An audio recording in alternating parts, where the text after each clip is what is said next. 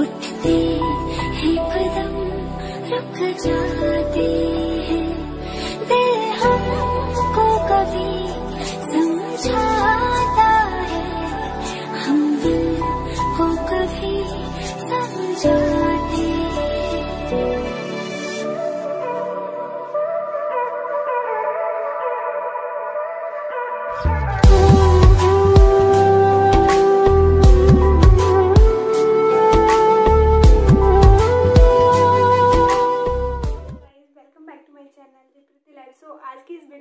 आप लोगों को वैलेंटाइन डे के लिए 200 में सब सेटअप कराने वाली हूँ कि आप होम पे, घर पे ही कैसे बहुत अच्छे से वैलेंटाइन डे सेलिब्रेट कर सकते हो without any time let's get started और एंड वीडियो सो गाइस देखिए, जैसा कि मैंने यहाँ पे ये जो छोटे छोटे प्लांट मंगाए हैं, ये 150 का है, ये 200 का है और ये 200 का है, ये सब।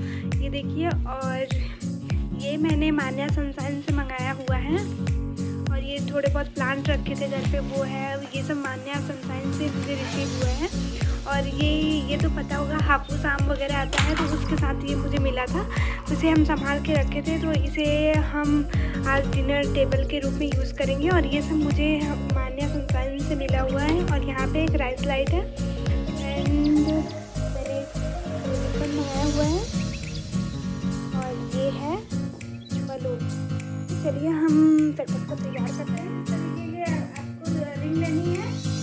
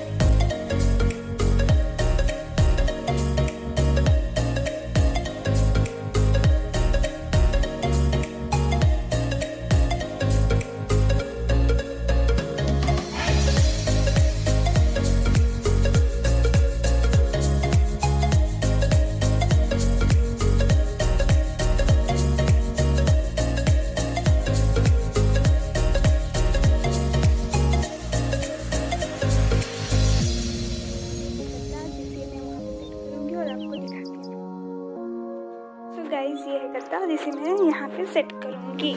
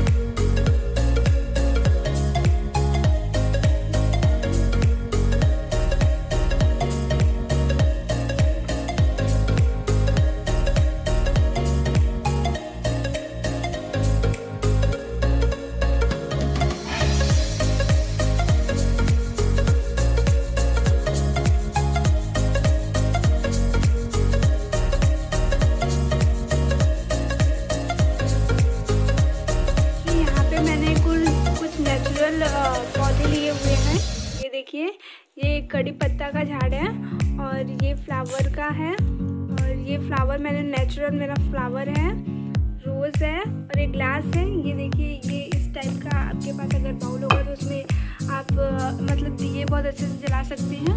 और ये मेरा सेट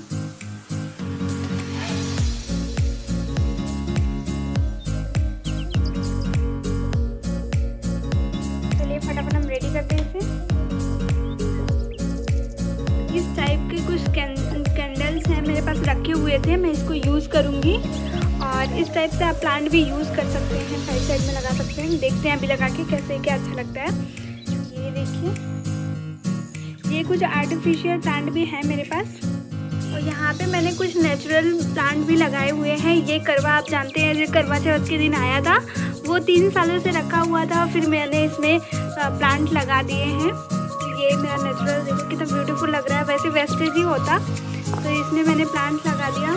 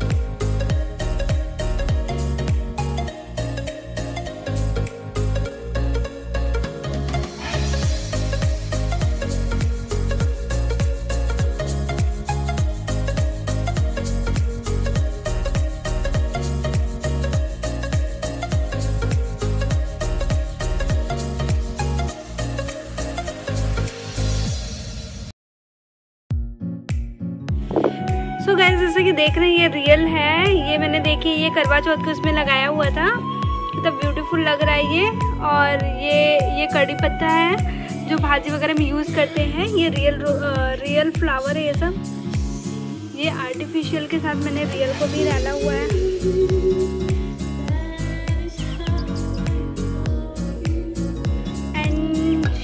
भी आर्टिफिशियल ही।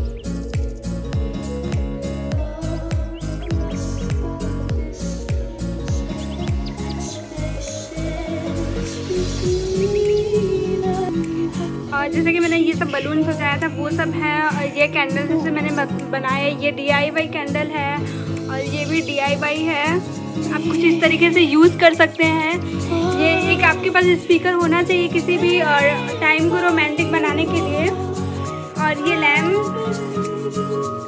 ये देखिए वो, इसका ना वो, क्या बोलते हैं, इसका जो, बाकी बोलते हैं ना, वो पूरा ख़त्म हो चुका तो बट इसे मैं ऐसे रख दे रही हूँ। और ये मेरा डी मैंने बना दिया इसे। ये बना